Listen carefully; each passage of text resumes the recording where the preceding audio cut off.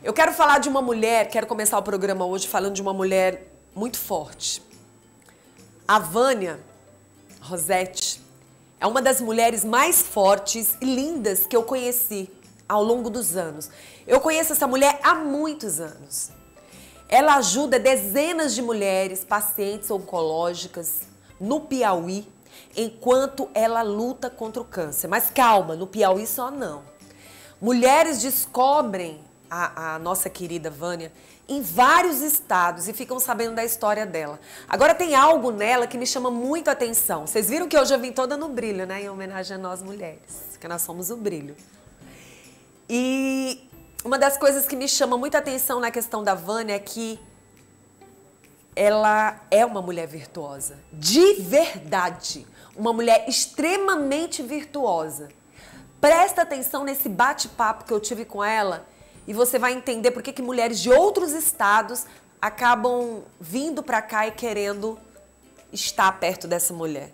Foi um papo gostoso que a gente teve pelo Zoom, porque ela não podia estar aqui, eu não podia ir lá, porque eu tinha que ficar um pouco distante dela pela saúde dela. Vamos ver que papo gostoso foi esse.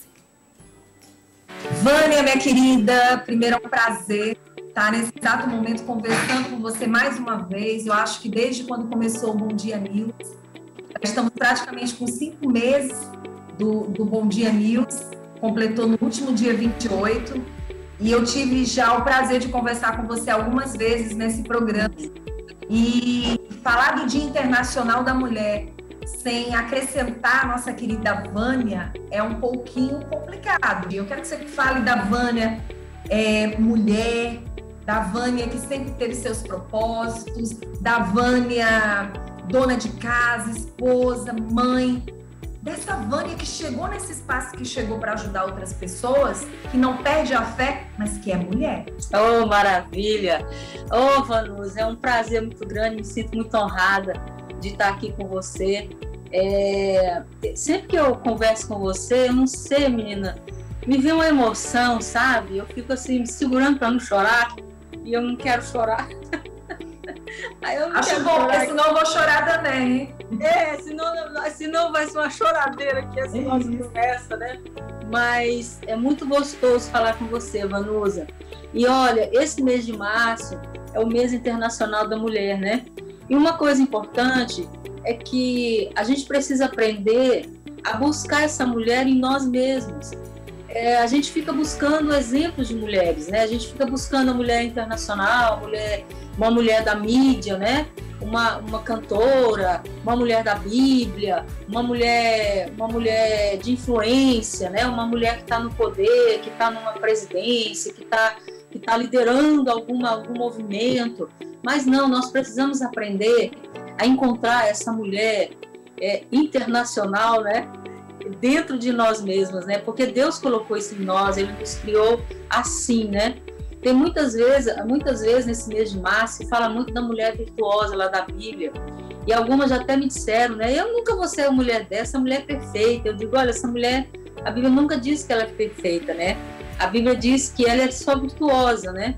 E essa virtude você pode ter dentro de si. Mas assim, Vânia, o que fica para esse legado, eu acho que você acabou trazendo para a tua vida de uma forma até mais bem elaborada e dada pela sua mãe. As pessoas queriam estar perto da sua mãe e você acabou estando perto das pessoas que precisavam. Exato.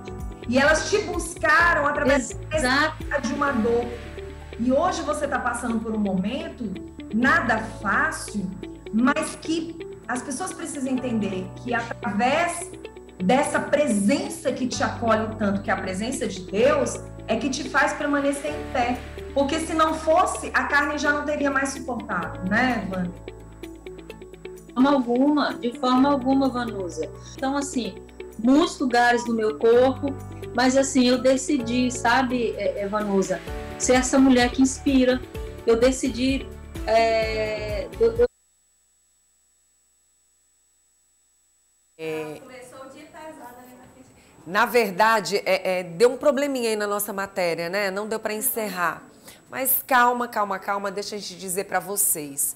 É, eu tive um, uma conversa, um bate-papo muito gostoso com a Vânia, onde ela deixou bem claro para mim toda a luta, toda a batalha que ela tem no dia a dia.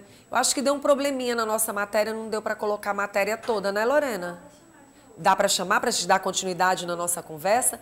Mas assim, antes da gente dar continuidade nessa conversa aí, é, uma das coisas que me chamou bastante atenção é que ela realmente não desiste, nem deve desistir, é uma mulher virtuosa.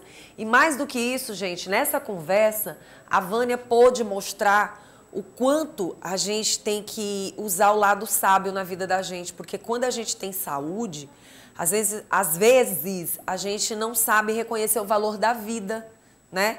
E quando a gente passa por situações muito, mas muito difíceis, é o momento que a gente percebe que a mulher mais se torna é, consciente do valor dessa vida, né? Ah, Vanusa, mas isso daí está muito claro, isso daí é muito verdadeiro. Não, não é. Tem pessoas que passam por situações difíceis e elas continuam não reconhecendo o valor da vida. Presta atenção na continuidade dessa conversa aí com a Vânia.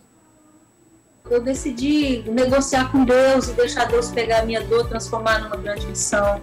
Então, nós mulheres temos esse potencial em Deus de tomar essa decisão. Eu quero ser essa mulher que vai marcar uma geração.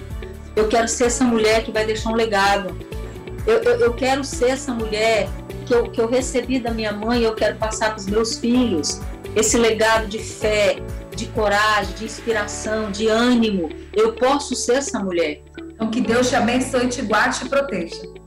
Amém, meu amor. Muito obrigada. Feliz Dia Internacional da Mulher.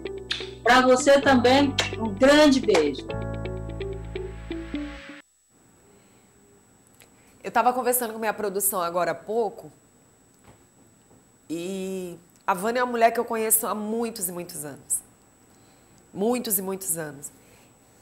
E uma das coisas que, que mais me chama a atenção nessa mulher é que ela me lembra muito a Ludmilla. A Ludmilla, cantora, que tem passado por momentos muito difíceis. E realmente a gente percebe que para estar num palco cantando em pé, tem que ter muita presença de Deus.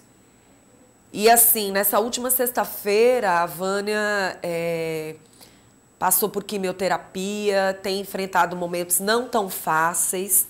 E assim, uma das coisas que, que me chama mais atenção é que tem dia que eu acordo sem coragem. E acredito eu que eu tenha saúde. A gente tem aqueles probleminhas que toda mulher tem, e beleza, ah, você tem um problema de saúde? Tem. Tem um segundo problema de saúde? Tenho.